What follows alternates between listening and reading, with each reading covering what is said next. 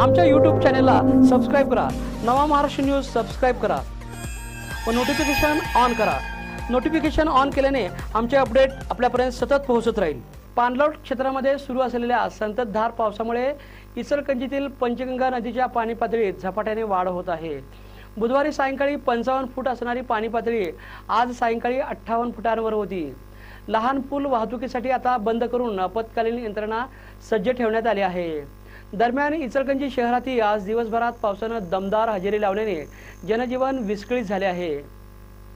धरण आणि पाणलोट क्षेत्रासह सर्व दूर असलेल्या पावसांच्या सतत धारेमुळे इचलकंजीतील पंचगंगा नदीची पाण्याची पातळी चोवीस तासात तीन फुटांनी वाढली आहे.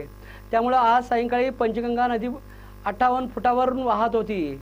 नदी घाटावरील महादेव मंदिर समाधीस्थळ आणि परिसरातील शेतीमध्येही पाणी शिरलं आहे.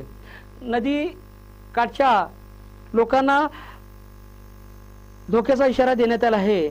नदीची इशारा पातळी अडुसष्ट फूट असून धोका पातळी एकाहत्तर फूट आहे.